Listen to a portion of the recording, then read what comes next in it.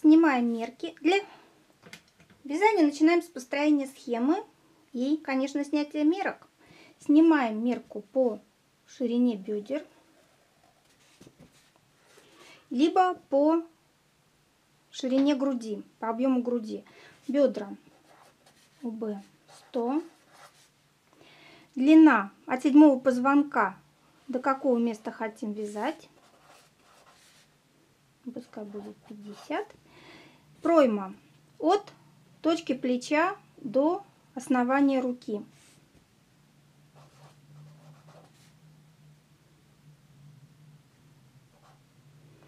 Ну и добавить немножко на резиночку. 18. Ширина горловины, вот какую хотите.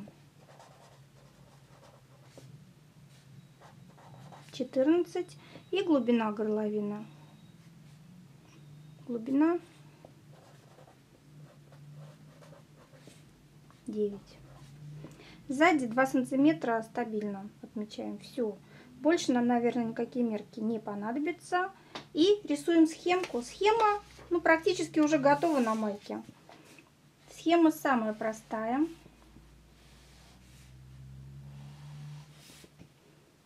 Сейчас мы ее пропишем.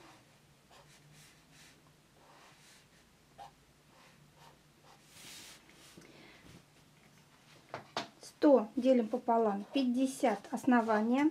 Высота. У нас высота от точки до точки идет 50, э, так, длина изделия 50.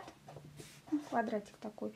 Но учитывая, что пройма 18, 50 минус 18, 32 сантиметра до начала проймы. То есть начинаем вязание, провязываем. Можно планочку, можно резиночку. У меня небольшая резинка, 32 сантиметра и пройма. Ширина горловины 14, высота 9. По поводу пройм и лямочек. 50 минус 14 и делим на 2.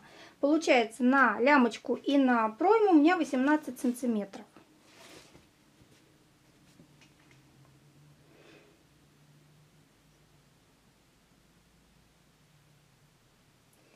Я не стала делать, а, так, 14 это с учетом того, что у меня вот такая горловинка, но у меня будет еще парочка сантиметров планки или резинки. Поэтому убираю отсюда еще 2 сантиметра. Ну и, соответственно, такая же резиночка будет по пройме. И получается, что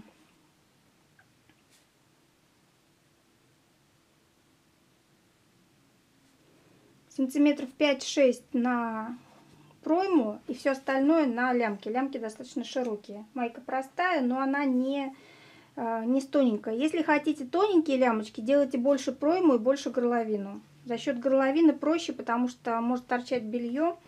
Итак, 6 сантиметров с учетом резиночки 14 плюс вот эти вот 2 и плюс 2 плюс 4. Смотрим, сколько у нас идет на лямку. 50 минус 14 плюс 4 минус 18. Минус 6 плюс 6 12. 20 и делим на 2 по 10 сантиметров. Нормально. То есть вот из общей э, ширины изделия вы читаете известные. То есть э, пройму, большие проймы еще раз не надо делать, небольшие подрезы. Все, теперь нам нужно посчитать петли ряды. Очень просто. Нужна петельная проба. Петельная проба у нас 4,2 ряда и 2,6 петли. Это в одном сантиметре. 50 это петли.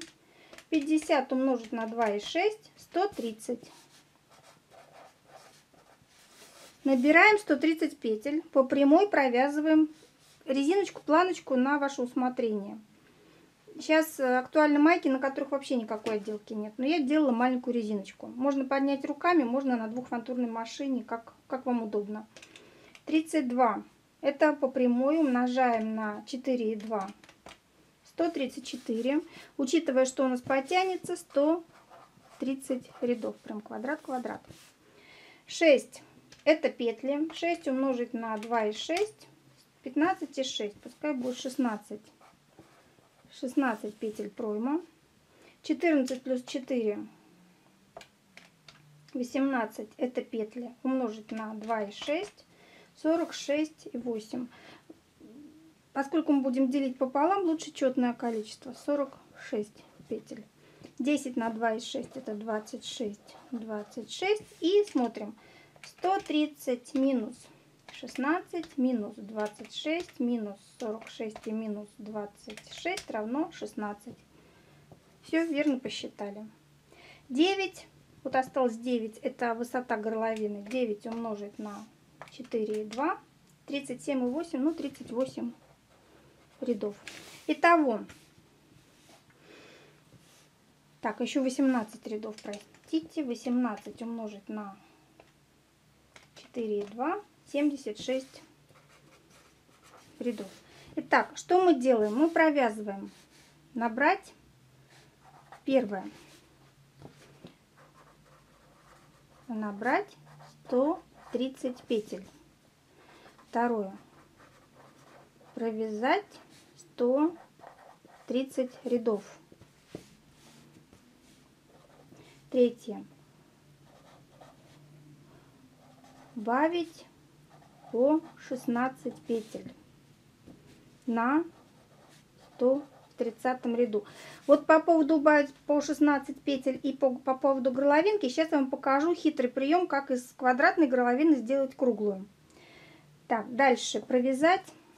У нас здесь 76, а мне нужно провязать 38 до начала эм, горловинки. Так, 76 минус 38, 38, 4. Провязать 38 рядов. горловина,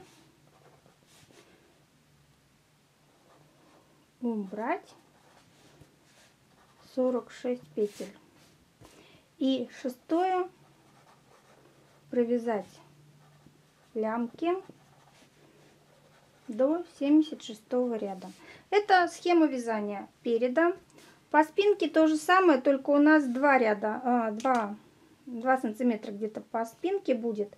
2 умножить на 4 и 2, 8, ну давайте 10 рядов. Это перед. А по спинке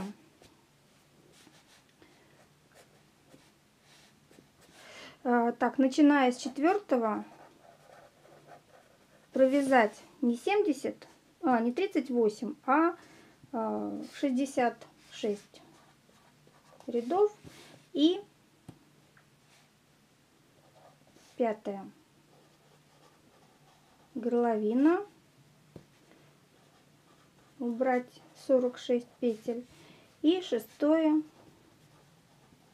провязать лямки 10 рядов. Вот и вся разница. То есть у нас с вами вот такая схема вязания. Сложного тут ничего нет, если вы умеете хоть немножко вязать. Сейчас я вам покажу, как делаются убавочки.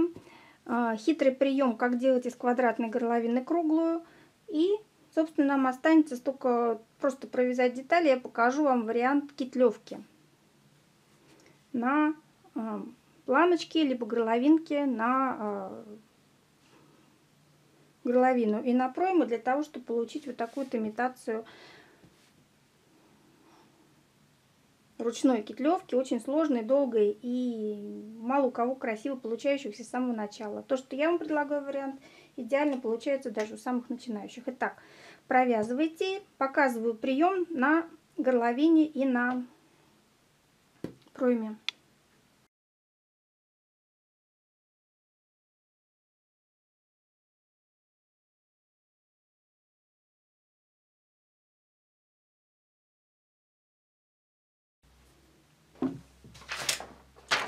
Довязали до начала проймы и теперь нам нужно убрать 16 петель, убавить на пройму. Метка стоит, вот количество петель. И самый простой способ, как сделать закругление. Половину закрываем сразу петель, а половину убавляем постепенно. Закрываем.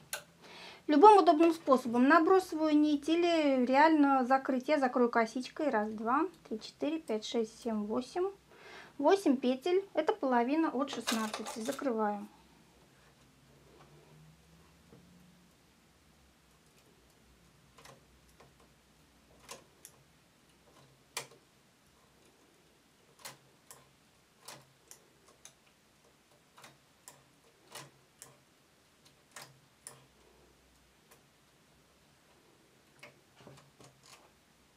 Это правая сторона, с левой делайте симметрично, только в следующем ряду уже. Так, чтобы провязалось. Сейчас проедет каретка, и я сниму с колков часть этого. Не забывайте снимать.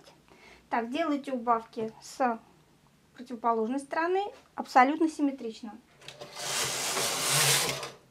Дальше до метки каждый ряд я убавляю по петле.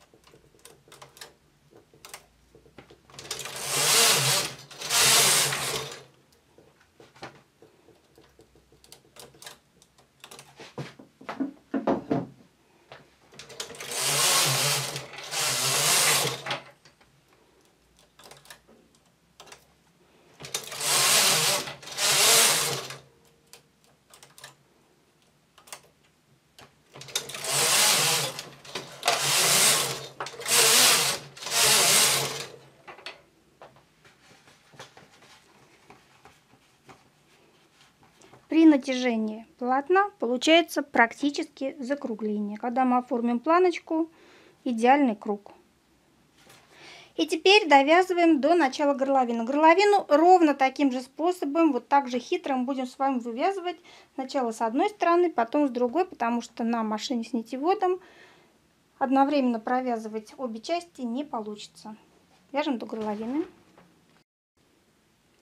Довязали до горловины. 46 петель, 23, 23. Теперь половину ставим переднее положение. Рычаги частичного вязания включайте. И будем точно так же провязывать уголок. Уголок самый простой способ. Можно брать те же 10 петель, можно брать от метки. Вот, например, здесь будет не, не 10, а больше а, от десятки и уделать уголок побольше. Если у нас эм, хотите более закругленное, делайте больше петель. Хотите маленькое закругление по низу, делайте меньше. Итак, ставлю в переднее положение все петли, все иглы от начала закругления. Закруглять буду от точки, которые отмечены на машинке. Но мне так удобнее, вы еще раз говорю, можете взять 10 петель, можете взять совсем чуть-чуть. Частичное вязание включено. Эти петли мы уберем, когда будем вывязывать вторую сторону. То есть заканчивайте одну, закрываете петли до начала закругления и по аналогии вывязываете закругление вот ровно так же, как я сейчас вам буду показывать. Так, первую петлю обвили и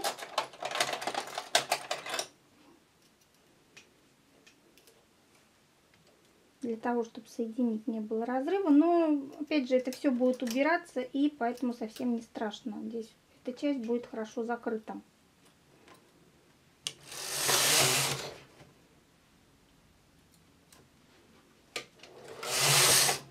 И теперь каждую петлю мы за раз убираем.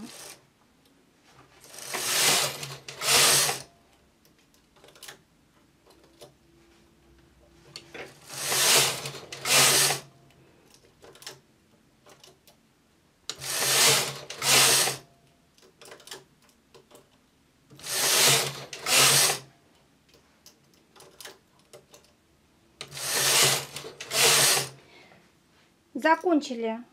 Когда закончим, дойдем до лямочки, провяжем по прямой, снимаем набросовую нить или закрываете, потому что наша задача будет сшить плечики. Связали одну детальку. Точно так же вяжете спинку, только там совсем маленький уголок, надо на 10 петель растянуть. Либо по 2 иглы убираете, либо совсем чуть-чуть закругление делаете. Небольшое нужно, потому что резинка иначе подтянет уголок. Заканчивайте эту часть. Закрываете петли до начала закругления. Точно так же по одной иголочке вывязываете вторую часть. Вторая деталь. Сшиваете плечики. Измеряете ширину горловины, по ней вяжете планочку и обработка планки и пройм я показываю в следующем. Следующий сюжет – обработка горловины.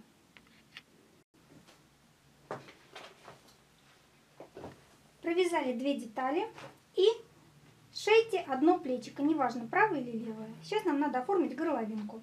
У меня на машинке провязана планочка. И теперь надеваю горловину на иглы. Видите, она немножко присоберется, это не страшно. Лицом к себе. От плечика до плечика равномерно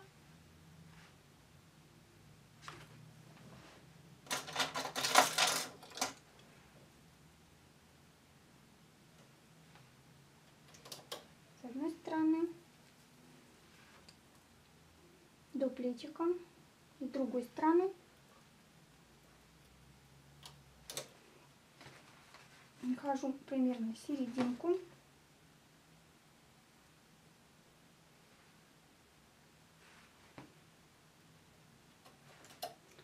И,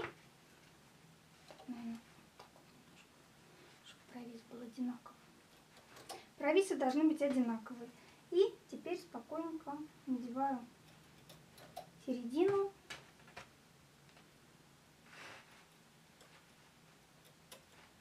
середину. Слежу за тем, чтобы провисало полотно одинаково. И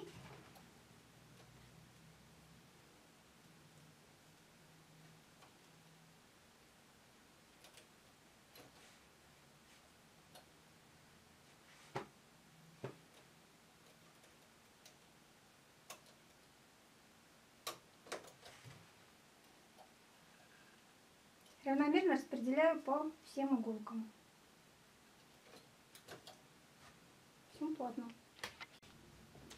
Надели. Видите, все очень так плотненько получилось. И провяжите несколько рядов. Несколько, это рядов 5-6. Первый ряд я буду провязывать на более рыхлой плотности соединительной. Дальше ставлю плотность рабочую и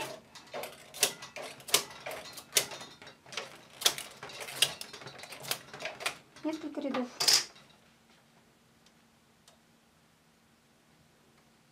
Да, блин.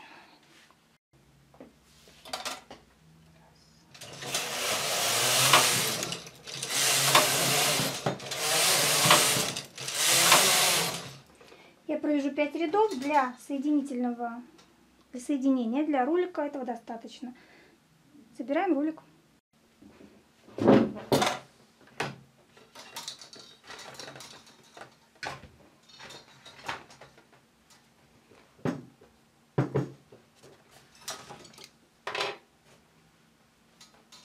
Немножко вперед иголки, полотно не слетало. И берем первый ряд. Вот тут плохо видно, но если присмотреться, вот эти вот поперечинки, это как раз тот ряд, который мы провязали первым, соединительный. Его и надеваем на иголки машины.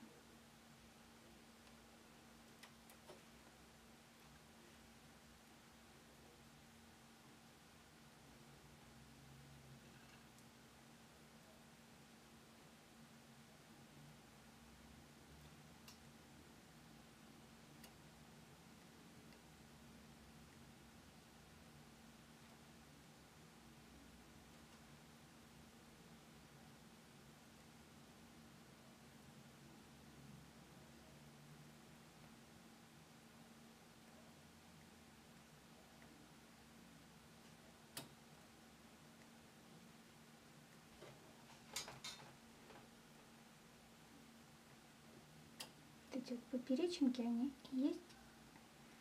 Их на таком пестром полотне, конечно, очень плохо видно. Нужен такой небольшой навык соединения.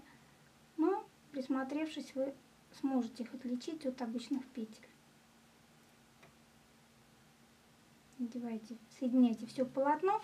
И нам останется всего лишь закрыть петли. Будет очень интересно и аккуратно оформленная горловина.